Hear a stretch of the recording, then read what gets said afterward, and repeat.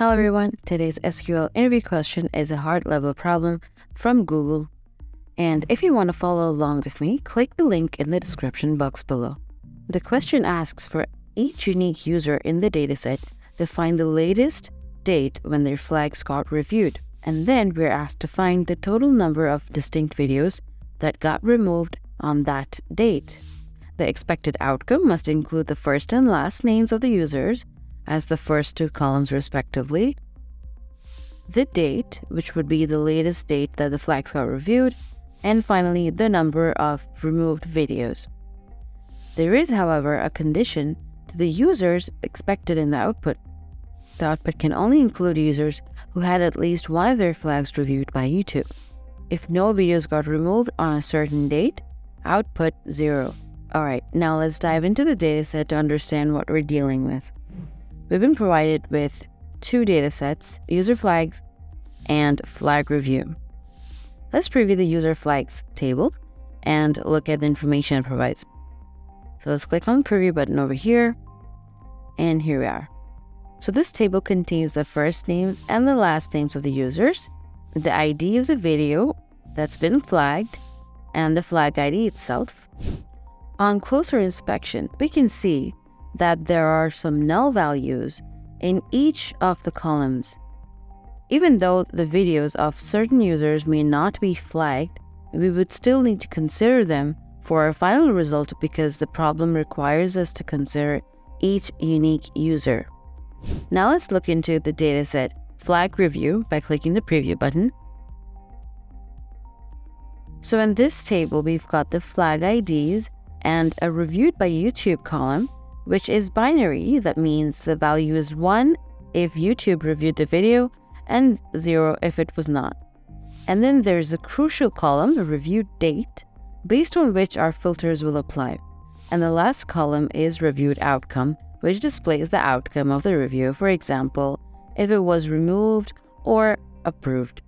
In the case of the first entry, the value of the reviewed by column is 0, which means that it was not reviewed by YouTube and subsequently, reviewed date and reviewed outcome don't exist for that flag ID. Let's work out the solution now. We'll be using MySQL in this question, so keep that in mind. From the expected output, we know that we're scrutinizing the videos flagged for each unique user. Seeing as it is present in the user flags table, we can extract it from there. But we also need the latest date. So for this information, we will need to merge the two tables and we can do that using the common flag ID column. Before we begin coding, let's take a look at the question again. So, output the first and last names of the users in two columns, and the date and the number of videos removed. Only include these users who had at least one of their flags reviewed by YouTube.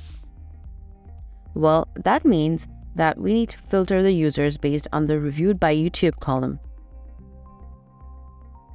If it is 0, we do not need to include them in the output. And to get the latest review date, we will use the max function. Alright, now let's write the query out.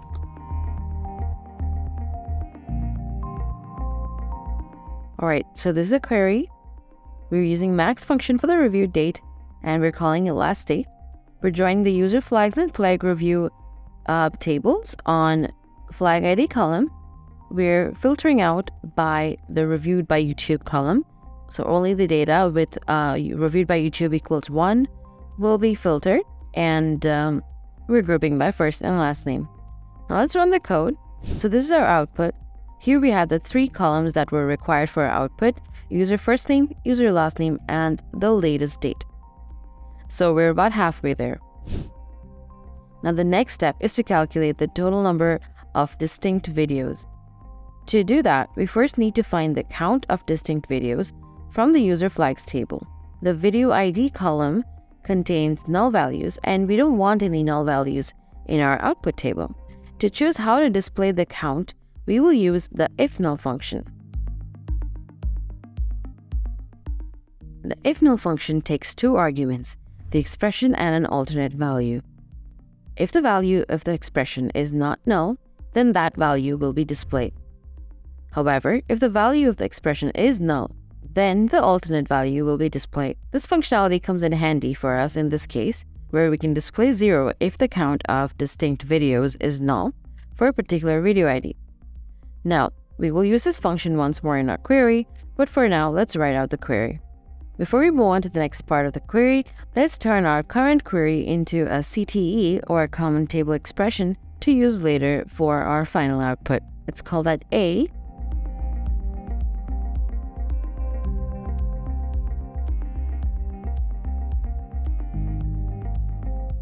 Here we're finding out the count of the distinct video IDs and displaying it as the number of videos. By joining the table flag review and user flags, we're going to retrieve the columns review date and the number of videos from this query. Now, from the merge table, we only need the videos that were removed post review by YouTube. So we're filtering the videos by reviewed outcome equals removed, and we are aggregating the table by review date. Now let's run that. And here we have it. We've got the required data. Now we only need to perform one final check before selecting them and displaying the results. So for each unique user, who of course has a video reviewed by YouTube, we also need to check for those who were not considered in our last query. This includes videos that got approved, for example. So the count value of these videos would need to be presented as zero in our final output because we only want the count of distinct videos that got removed post-review by YouTube. So again, we will use the if null function. Now let's write the query out, but before that, let's turn this also into a CTE. Now the second block is called B, and now we can write our query. Here we're selecting the first and last names from the A CTE, and we're performing a left join with BCTE on the latest review date column. So we have all the users and the latest date, and now we'll perform an if null function to display the appropriate number of video from the BCTE, and if it's null, we will add a zero in that place. So here's a final solution. Let's run it. And here's the output. We only have one user, who's had a video reviewed by YouTube but not removed, and therefore the value in the num videos column is 0. So here's a solution. And there we have it. We hope you learned the use of if null function in SQL through this video. To watch more SQL interview questions and learn more concepts, subscribe to our YouTube channel. I'll see you there.